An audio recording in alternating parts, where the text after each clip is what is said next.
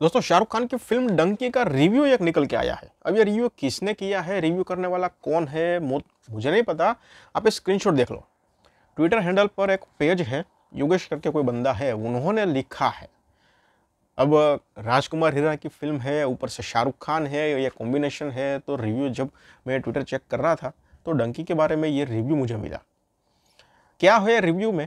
किस तरह का रिव्यू दिया है? चलो, वो तो जान लेते हैं, भाई, बाद में रिलीज़ होगी, जो भी होगा। वो तो बात की बात है।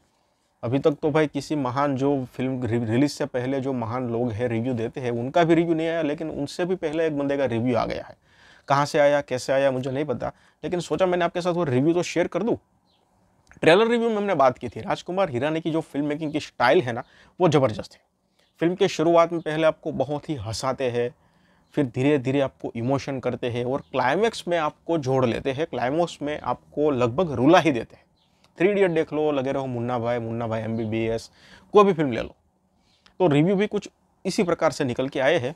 उन्होंने पार्ट वाइज यानी कि पहले हाफ़ में कितने रेटिंग हुई है दूसरे हाफ़ में कितनी रेटिंग है, वही एक छोटा सा रिव्यू दिया है, वो आपके साथ शेयर कर रहा हूँ। उन्होंने फ़र्स्ट हाफ़ में चार स्टार दिए हैं। लिखा है totally engaging and laughter ride तो जैसे मैंने आपको ट्रेलर रिव्यू में बोला था कि शुरुआत में ये आपको हंसाएँगे। बहुत ही हंसाएँगे फिर धीरे धीरे आपको इमोशन करेंगे। धीरे धीरे थोड़ा सा इमोशन करेंगे और इंटरवल ले लेंगे। तो यहाँ पर यही है। फ़र्स्ट आपको फोर स्टार दिया है। Totally engaging and laughter ride तो पहला हाफ़ टोटली एंगेजिंग है और लाफ्टर राइड है। दूसरे आपको पाँच में से पाँच स्टार दिए हैं।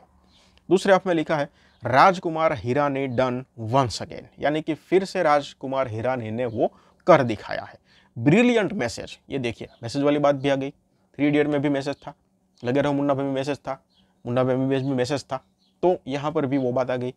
मैसेज वाली बात आ गई। Brilliant message with so much emotion वही सब कुछ पिछली फ़िल्मों वाला यहाँ पर।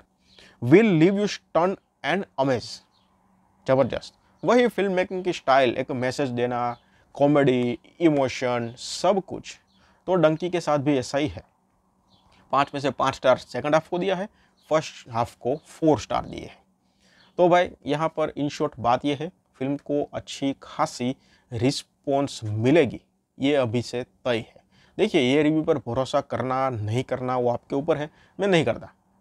मैं कभी भी नहीं करता रिलीज़ से पहले जो भी रिव्यू आते हैं, मैं कभी भी भरोसा नहीं करता। लेकिन मेरे पास न्यूज़ आती है तो मैं आपके साथ शेयर कर देता हूँ।